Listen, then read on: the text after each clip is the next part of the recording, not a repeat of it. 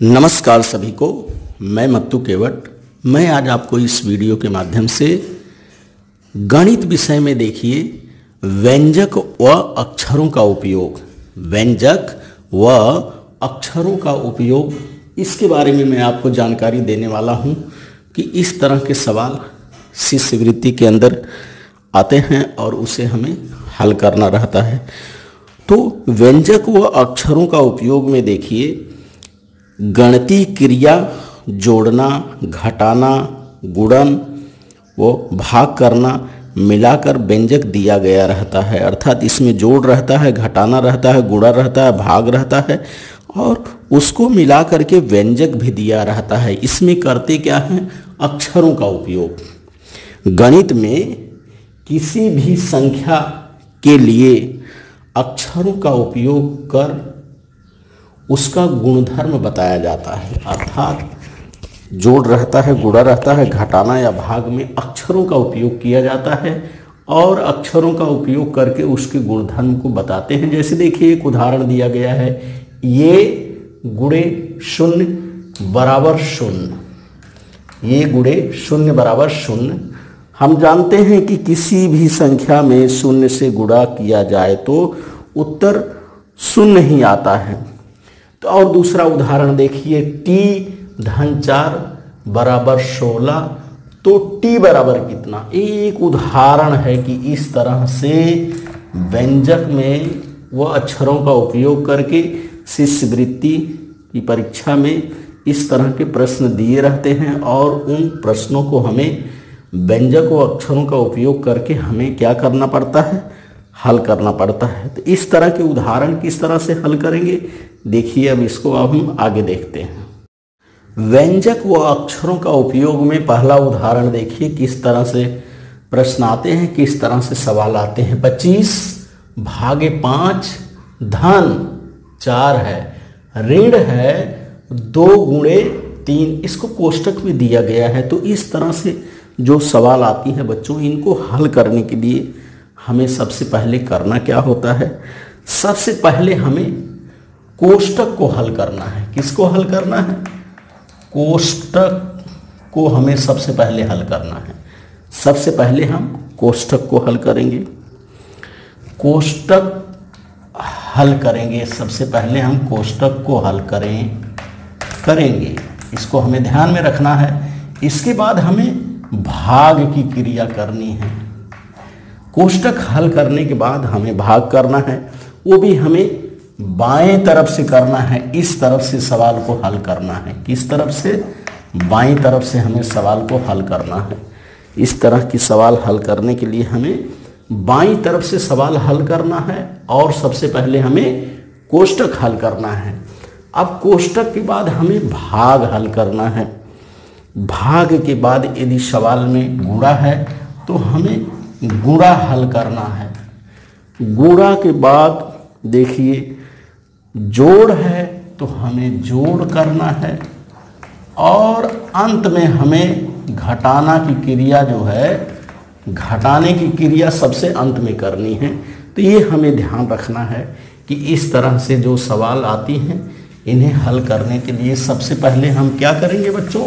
कोष्टक हल करेंगे। सबसे पहले पहले, सबसे पहले हमें देखिए फिर से, कोष्टक हल करना है। क्या हल करना है? कोष्टक। इसके बाद हमें क्या करना है? भाग करना है। भाग के बाद क्या करना है? गुणा करना है।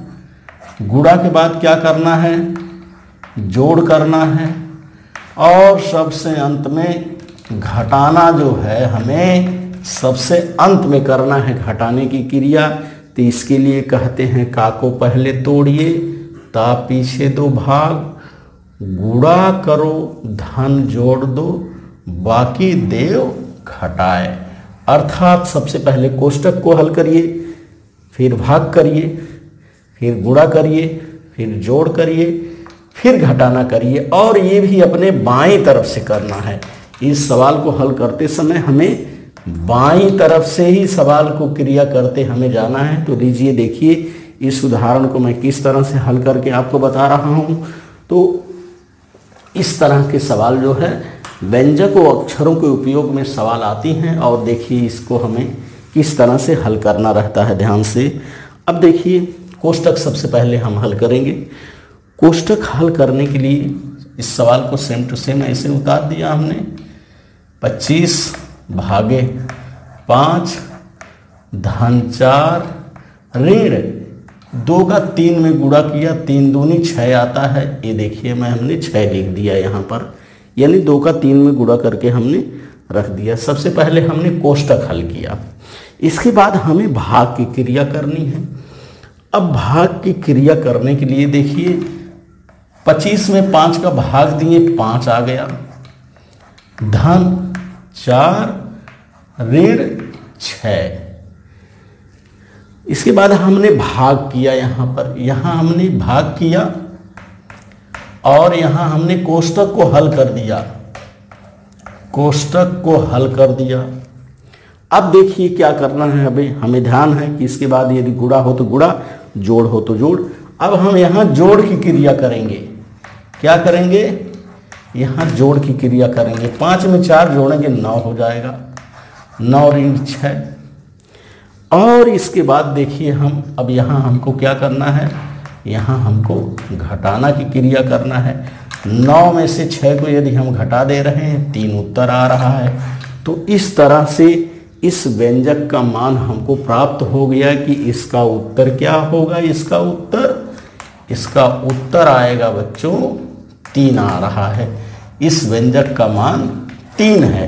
तो इस तरह से हमें व्यंजक व अक्षरों का उपयोग करके सवाल को ध्यान से हल करना है। सबसे पहले हमें कोष्टक हल करना है, फिर भाग करना है, फिर जोड़ करना है। यदि गुड़ा दिया है तो गुड़ा करना है, जोड़ के पहले गुड़ा करना है, फिर जोड़ अंत में हमें घटाना करना है। तो इस तरह से हमें व्यंजक व अक्षरों के इसमें दिए गए उदाहरणों को हल करना है।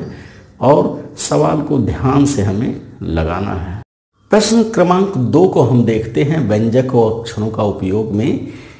के बराबर पाँच व यम बराबर तीन हो तो पाँच गुड़े के धन यम बराबर कितना होगा? प्रश्न है, देखिए, के बराबर पाँच, यम बराबर तीन तो के गुड़े यम धन पाँच बराबर कितना होगा? उत्तर पर्याय में दिया गया है, पहला पर्याय बीस है, दूसरा तेरह है, तीसरा अट्ठाईस है और चौथा पर्याय चालीस है, अर्थात इन चार पर्यायों में से कोई एक उत्तर है। तो हमें क्या करना है यहाँ? व्यंजक अक्षरों का मूल्य रखकर व्यंजक को हल करना है। अब हमारा प्रश्न ये है, प्रश्न है कि पाँच गुड़े के धन यम बराबर कितना होगा? तो पाँच तो है ही। अब के के स्थान पे हम पाँच रख दे रहे हैं। और ये धन है। धन यम किया है। धन के स्थान पे हम तीन रख दिए। अब इस सवाल को देखते हैं। पहले हमें इसमें गुड़ा करना है बाई तरफ़ से। हमें ध्यान रखना है कि कोष्टक है तो कोष्टक यहाँ गुड़ा है। तो पाँच पच्चीस ये पच्चीस हो गया। पच्चीस में तीन हमने जोड़ दिया। तो पच्चीस में तीन जोड़ने पर उत्तर हमें कितना प्राप्त हो रहा है? अट्ठाईस प्राप्त हो रहा है। अर्थात इस व्यंजक का मान अट्ठाईस होगा यहाँ पर। और हम उत्तर पर्याय को देखते हैं कि पर्याय क्रमांक तीन जो है, ये सही उत्तर है। तो उत्तर पर्याय में जो इस तरह से गोले दिए रहते हैं, इन गोलों में हमें चार, तीन नंबर के पर्याय को उत्तर पत्रिका में तीन नंबर पर्याय के गोले को इस तरह से हमें रंगना रहता है, ये गोला हमें सही से रंगना रहता है। इस तरह से शिष्यवृत्ति स्कॉलरशिप के पेपर में प्रश्न आते हैं, उसके उत्तर भी हमें दिए रहते हैं।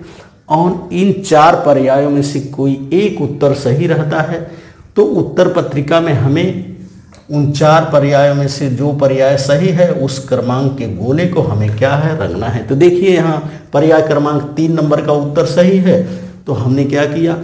तीन नंबर के गोले को इस तरह से रंग दिया। प्रश्न क्रमांक तीन हम देखते हैं कि प्रश्न क्रमांक तीन हमारा क्या है? देखिए, यदि x बराबर नौ, y बराबर शून्य और जेड बराबर तीन हो तो यक्स धन कोष्टक है। यक्स गुड़े वाई, धन जेड, ऋण वाई, भागे एक्स कोष्टक बंद हो गया। इस सवाल को फिर से देखिए।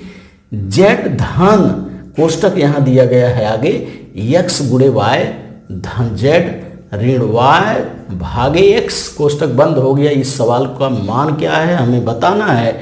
यहाँ उत्तर पर्याय देखिए। पहला पर्याय है शून्य, दूसरा पर्याय है तीन तीसरा पर्याय है नौ और चौथा पर्याय है बारह, अर्थात शून्य, तीन, नौ, बारह। इन चार में से कोई एक इसका उत्तर होगा तो हमें क्या करना है? व्यंजक व अक्षरों का उपयोग जहाँ दिया गया है, हमें व्यंजक की जगह पर संख्या को रखना है और इस सवाल को हमें हल करना है। अब देखिए, जेड जेड अर्थात कितना है? तीन है। सवाल हल करने के लिए सेम टू सेम उस तरह से जेड बराबर तीन कोष्टक बंद कर दिए एक्स बराबर कितना है? एक्स बराबर देखिए नौ गुड़े वाई बराबर कितना है? शून्य है, धन, फिर जेड बराबर कितना है? तीन है, ऋण, वाई बराबर कितना है? शून्य है, और भाग, एक्स बराबर कितना है? एक्स बराबर नौ है। अब देखिए, यहाँ कोष्टक दिया गया है कोष्टक हम सबसे पहले हल कर रहे हैं, तीन, धन, नौ का शून्य में शून्य गुड़ा करेंगे, शून्य आ जा रहा है। धन है, तीन हमने लिख लिया। इसके बाद देखिए ऋण है यहाँ। अब शून्य का भाग यदि हम शून्य में नौ का भाग दे रहे हैं तो हमारा उत्तर क्या आएगा? शून्य ही आएगा। आप सभी जानते हैं शून्य में नौ का भाग देने पर नौ शून्य शून्य आता है इस तरह से तो इसका भी मान शून्य हो गया। अब देखिए इस तरह से व्यंजकों को हमने रख दिया। शून्य, धन तीन, ऋण शून्य। ये इसका मान हो गया। सबसे पहले हमने क्या किया? गुड़ा किया यहाँ पर। यहाँ भाग किया। बाएँ तरफ़ से हमें क्रिया करते जाना है। अब देखिए, यहाँ बच क्या रहा है। अब हम कोष्टक हल कर दे रहे हैं। को तीन, धन तीन। यहाँ शून्य घटाना है, यहाँ शून्य है। इसका मतलब हो गया कि तीन गुड़े तीन आ रहा है यहाँ पर अर्थात तीन त्रिका नौ इसका उत्तर आएगा। इस क्रिया को करने के बाद तीन त्रिका नौ इसका उत्तर आ रहा अर्थात पर्याय क्रमांक तीन जो है यहाँ पर, ये सही उत्तर है। तो उत्तर पत्रिका में इस तरह से जो गोले दिए रहते हैं, गोलों में हमें क्या करना रहता है? रंगना रहता है, लिखना नहीं रहता है इसमें। तो पर्याय क्रमांक तीन सही है तो पर्याय क्रमांक तीन के गोले को हम इस तरह से रंग देंगे तो हमें पता चल गया कि इस व्यंजक का मान जो है, नौ आ रहा है। तो इस तरह से हमें व्यंजक व अक्षरों का उपयोग करके प्रश्नों को हल करना है। प्रश्न क्रमांक चार हम देखते हैं बच्चों, और इसका ऑप्शन है, देखिए, पहला इसका ऑप्शन है बारह, और दूसरा ऑप्शन है सात तीसरा ऑप्शन है पंद्रह, और इसका चौथा ऑप्शन होगा शून्य। तो इस इस सवाल को क्या करना है हमें? हल करना है कि आठ, धन बत्तीस, भागे आठ, ऋण चार गुड़े तीन बराबर कितना? प्रश्न हमारा है आठ, धन बत्तीस, भागे आठ ऋण चार गुड़े तीन बराबर कितना होगा? और उत्तर पर्याय पहला बारह है, दूसरा सात है, तीसरा पंद्रह है, और चौथा शून्य है। तो इस सवाल को हमें देखिए, हल करना है। और हल करके हमें सवाल को क्या करना है? उसका उत्तर प्राप्त करना है। इसको हमने लिख लिया इस तरह से। अब हम सबसे पहले इसमें हमें ध्यान है, काकू कोष्टक नहीं है, भाग है। तो सबसे पहले हम इसमें भाग की क्रिया करेंगे। आठ, धन। आठ का पहाड़ा चार बार पढ़ेंगे, आठ चौक बत्तीस होता है, चार आ गया।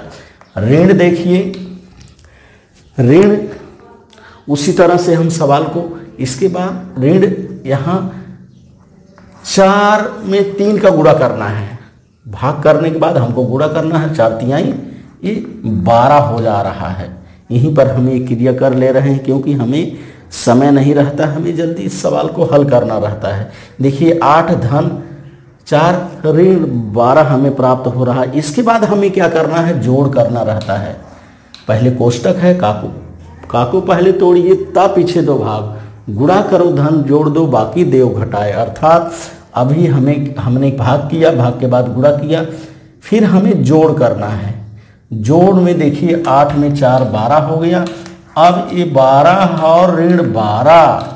बारह में से बारह हमको घटाना है, अर्थात उत्तर यहाँ हमें शून्य प्राप्त हो रहा है। अब देखिए पर्याय क्रमांक चार जो यहाँ पर है, ये शून्य है, ये सही है। और उत्तर पत्रिका में हम चार नंबर पर्याय को इस तरह से क्या करेंगे? चार नंबर गोले को हम रंग देंगे तो हमें प्राप्त हो जा रहा है कि आठ धन बत्तीस भागे आठ, ऋण चार गुड़े तीन बराबर शून्य होता है। इस तरह से हमें व्यंजक व अक्षरों का उपयोग करके सवाल को हल करना है। तो आप मेरे इस वीडियो के माध्यम से व्यंजक व अक्षरों का उपयोग किस तरह से होता है, इस प्रकार के सवाल को हल करिए। और इन सवालों को हल करते समय सबसे पहले आपको कोष्टक हल करना है, उसके बाद भाग हल करना है, फिर गुणा करना है, फिर जोड़ना है और सबसे अंत में आपको घटाना है। और ये सारी क्रियाएँ हमें बाई ओर से करते जाना है, दाहिने ओर से सवाल को हल नहीं करना है।